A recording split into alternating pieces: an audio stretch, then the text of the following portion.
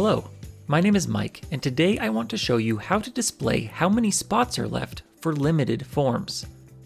A few weeks ago, I showed you how to both limit and schedule your forms. I'll leave a link to that video below. But today I want to show you how to add a sense of urgency by displaying how many spots are left. Let's get started. First, we need our form. I'll just do the same baseball sign-up form as last time. We don't need to make any changes to the form itself, I'll just go to scheduling in the settings to limit the number of entries to 100. Okay, update to save. Now what we're going to do is make our own shortcode.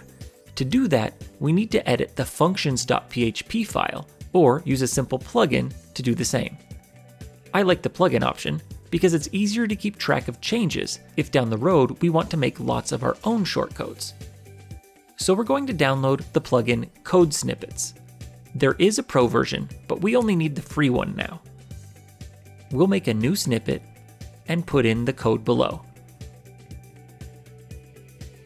Don't worry, I'll have a link to this code in the description so you can copy it. We only need to make two changes. The first is to make the 0 100, because that's our limit. Then the second is to change the X to the ID we want to keep track of. That means it can be any required field of our form, because it will count how many entries appear in that ID. So let's go grab the ID of a required field.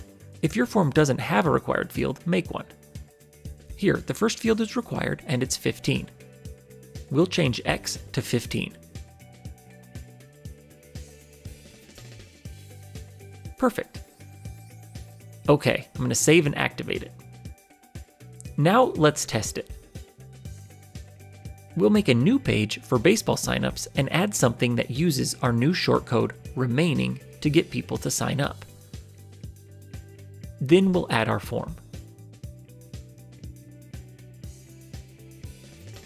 If we preview the page, it says there's only 100 slots left.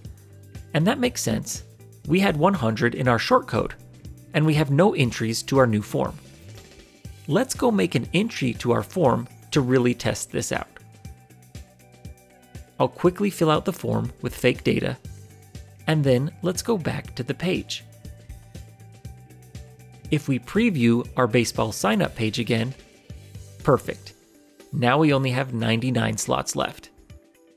And that's how you can add urgency by displaying the number of slots left with your forms. Subscribe for more WordPress and form building tips, and I'll see you next time.